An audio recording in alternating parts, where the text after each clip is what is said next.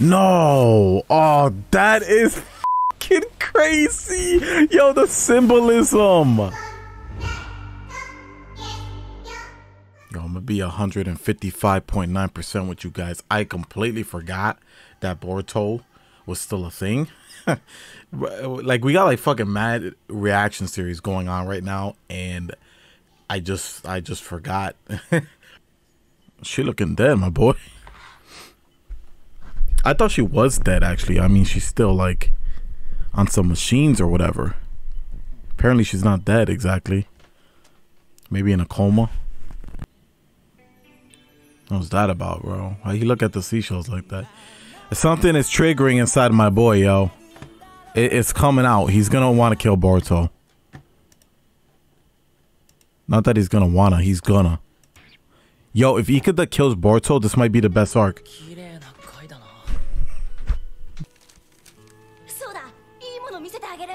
He's Ikada's got big dreams, but he can't really focus on them through all this war and his sister being attacked, almost dying. Like, there's so much going on in this head.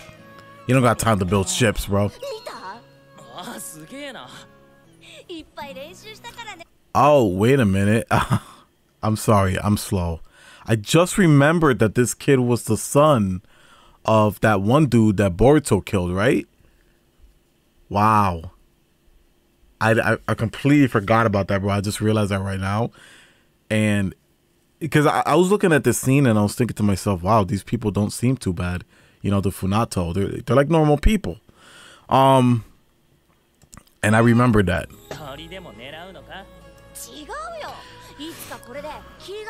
I mean, we know Ikada is not a bad person. And this kid is just a kid.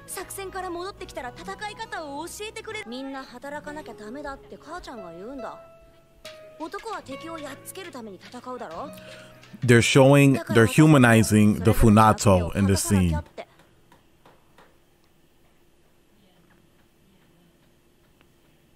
Which is, you know, makes sense. It makes sense. That's the direction I would expect it to go in.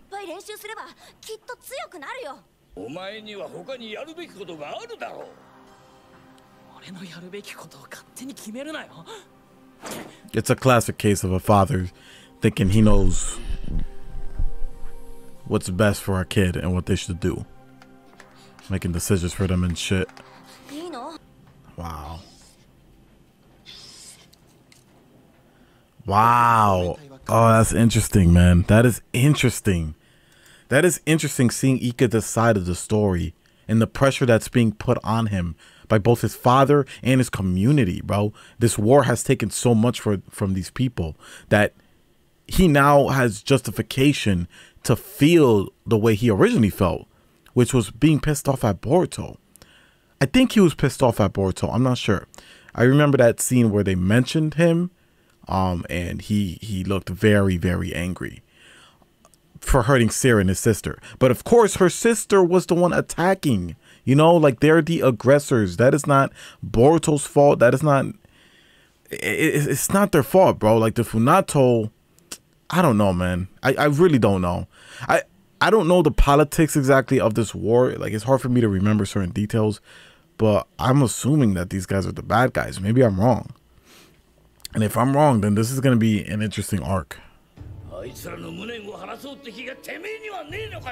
Th this uh, father is like hard-headed. He's emotional, aggressive.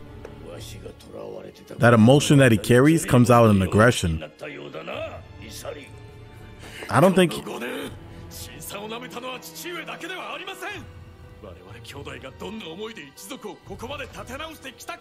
He don't though.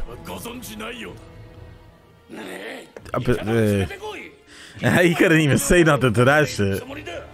How can you say anything to that? You were locked up. Oh shit, yo.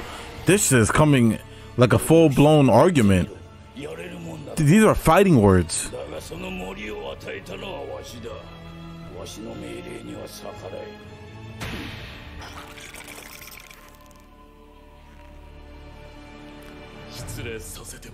Your weapon can't even touch him, bro. He made that shit.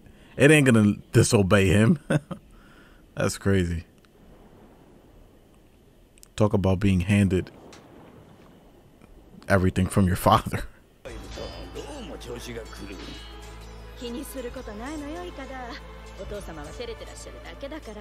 Uh, I don't think he is being just shy.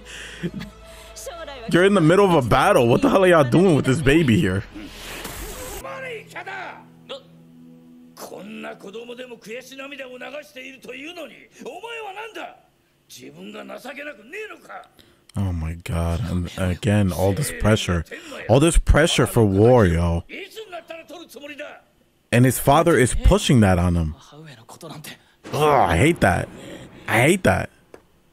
This fucking guy.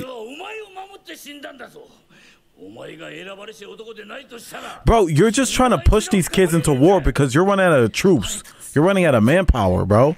That's the only reason.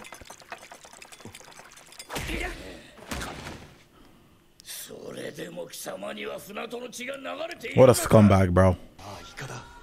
お前はいつまで姉のことを自分が戦わなくて済む言い訳に利用するつもりだ Oh my god, bro. Yo, what is going on this episode? This shit is fire. Damn, she remembered. Oof, nope, relax. Your Funamashi leader is dead.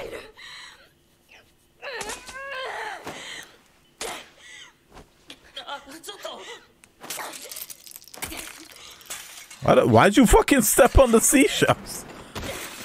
She's just tripping all over the place, yo. Look, at, oh my god, the way these kids are uh, conditioned to fight in this war right now, bro.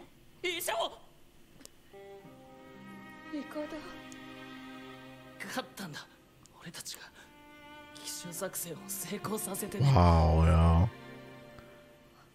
Lying to fucking protect her, bro. Oh my god. Oh my fucking god. This is amazing, y'all. Wow.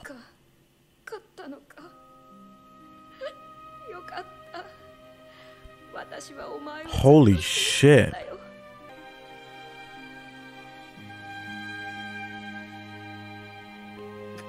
Uh, yeah, okay. I was about to say, don't kill her off. Damn, bro. Even the fucking guy in the room is crying. Oh my god. Let me pause for a second here, bro. That was fucking amazing. I got chills on my arms, guys. Damn, bro. Ikada, Ikada has such a story right now. I wish that Boruto and Ikada's relationship uh, was executed a little better because I don't know the writing between them did not seem that good uh, for building their friendship. I wish the writing was good for building their friendship because this fucking conflict that Ikada is in is amazing, yo. It is amazing. And we know that Boruto is facing similar like uh uh struggles indecisiveness, not on the level that Ikada is, but you can see both Boruto and Ikada are uh experiencing war, like straight up war, bro.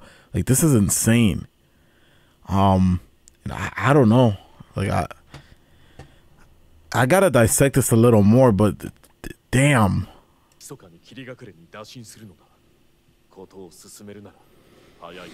Mm. Now he's going behind his father's back, bro. Because that's the point we're at right now. But you know, there's a reason there's so much faith being put into his father. There's something special about him. No. Oh, that is fucking crazy. Yo, the symbolism. He ripped up his ship's plans. He said, fuck the ship, I'm swimming. No, and the water graphics are looking beautiful again.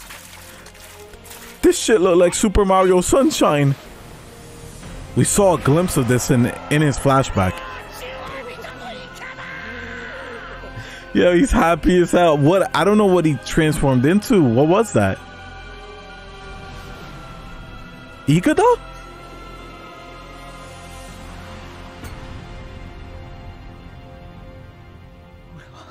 Ikada, what happened?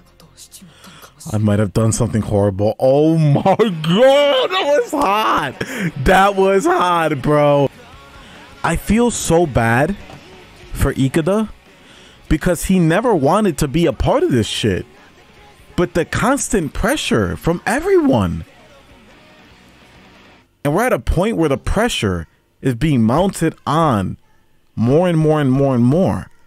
Um, where Boruto is like, are, are, we doing the right thing? And you know, like uh, Boruto is now questioning it, but before Boruto was just thinking, oh, we need to avenge Kagura, bro. That's what we need to do. We need to go out there and fucking kill this guy.